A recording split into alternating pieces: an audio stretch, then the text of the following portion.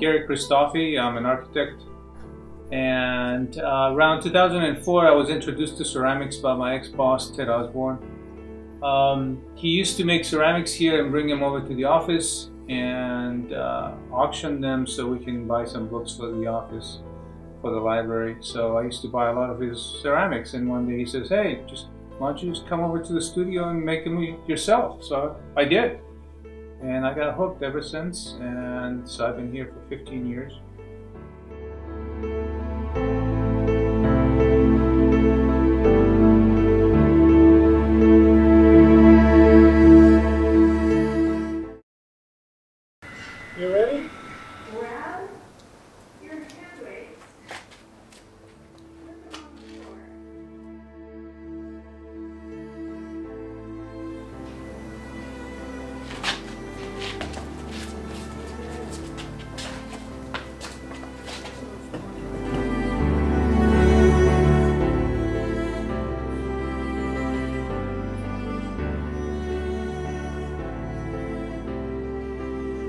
What's great about ceramics that's different than architecture is that you can get stuff done in a, in a short period of time.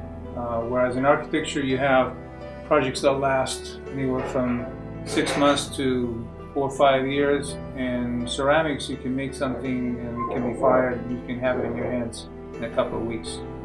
So that brings a lot of satisfaction, uh, quick satisfaction. Uh, you can see quick results and then um, augment your results to obtain whatever else you want to get um, out of a particular type of ceramic. So um, as far as uh, ceramics um, and how it relates to architecture, uh, recently when I've done a lot of sculptural pieces, um, I find that um, because uh, it's more tactile, you can mold clay with your hands, you get a better sense of how uh, all the different shapes that you can create and that can be adapted into architectural forms. Um, so it's it's it's the it's the fact that you can that's that's tangible. You can touch it with your hands and mold it. That makes it so much more of a learning tool when it comes to architecture.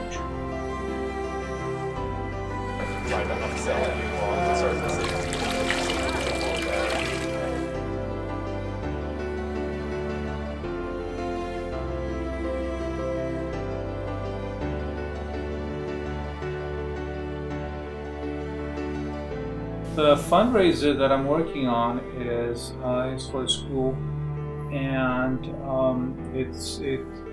The title is Threshold, so the threshold for me could be a lot of things. In the case of my piece, it's the um, I have a box and uh, two hands with um, with the hands creating plate uh, planes, wall planes, and roof planes that ultimately result in buildings. So the threshold for me is is the office and what it creates with the hands and what it offers to the community.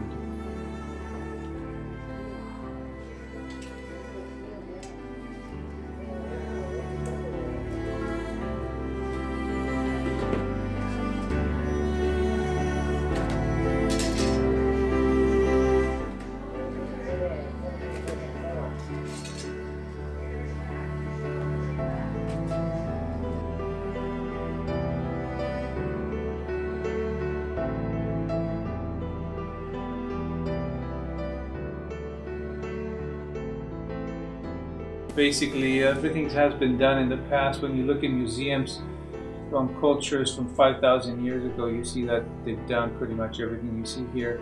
Um, I'm trying some new techniques in slip casting. I'm introducing color.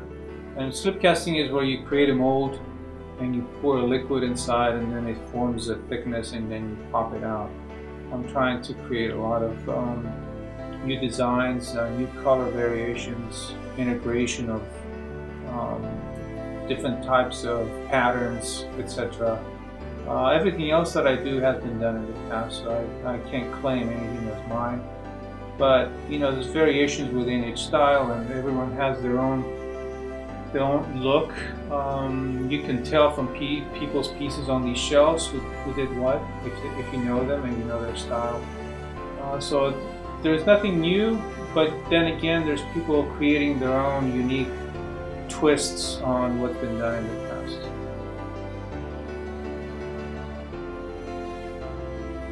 Okay, I think the most challenging and the most exciting parts are both the same for me, and that is you never know what's going to come out of the kiln when it's fired. So the challenge is trying to get consistency with your pieces and to make them a certain way so they're fired, they don't crack, and then when you glaze them, uh, make sure that you get a consistency. But again, the that's the bad part and that's also the fun part in that when you do get your pieces out of the kiln, it's always a surprise. It's like opening presents at Christmas time. You never know what you're going to get.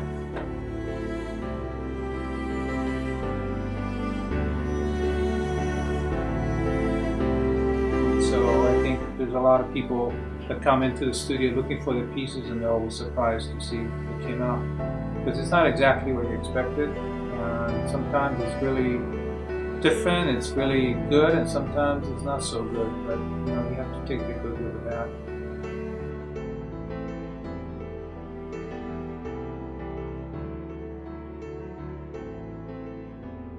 I think the biggest challenge was the box because I was told that if I fire it in raku that it would uh, it might crack because of um, the heat.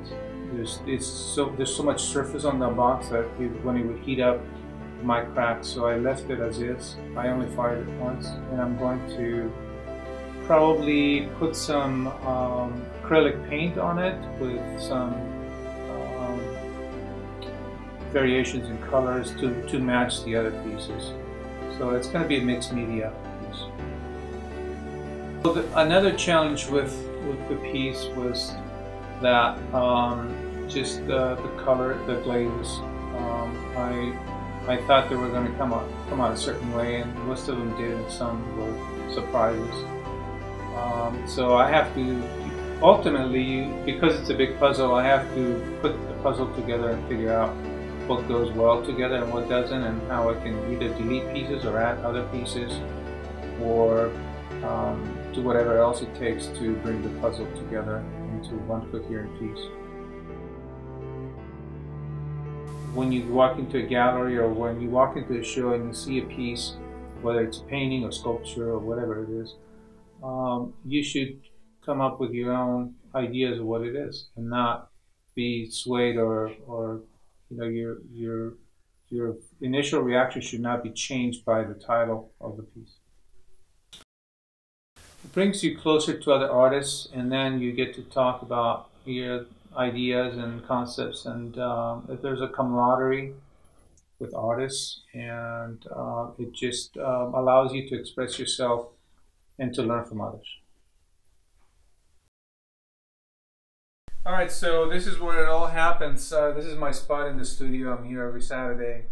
And uh, once I started the uh, fundraiser ceramic piece, um, I started making uh, the box here with flat pieces and the sculptural um, piece of the hands and the other buildings and um, wall planes.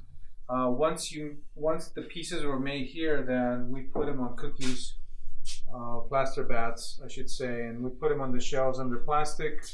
This is one of my pieces right here. So you, they're covered until they they um, uh, basically lose some of their water. And from here, once they become what's called leather hard, we put them here on these shelves. Um, to uh, and they and they dry some more right here until when you touch them, they don't feel cold. That means they're dry enough and then we take them over to the shelves over here. The instructors bring them over to the shelves right here. And then from here, once they're ready and it's their turn, they go into one of the kilns over here for bisque firing. So bisque firing is the first firing that we do for the pieces so that they can absorb the glaze. So these two these two, uh, three kilns here. That's an electric kiln. That's an electric kiln. This is a gas-fired kiln. So this is what we fire, the, the bisque firing. And you can see the bisque firing here. This is an example of that. You can hear how, how it is. So basically it's, 70, it's, fired, it's fired to 1700 degrees and then this way it can absorb glaze for the final firing. For the raku firing, um, the process is the same up until this point. Um, we also do uh, high, what's called high fire here for, with these two gas kilns, and this goes to 2,400 degrees. Here's an example of some of the high fire pieces here. You can see them all here. Uh, but for raku firing, um, I use special glazes for raku, and that gets fired to 1800 degrees. So the bisque firing is at approximately 1800, and then the raku firing is again at 1800. Whereas for the high fire, it's 1800 for the bisque firing, and then 2400 degrees for the final fire. So uh, I'll show you some of the special raku glazes that we use.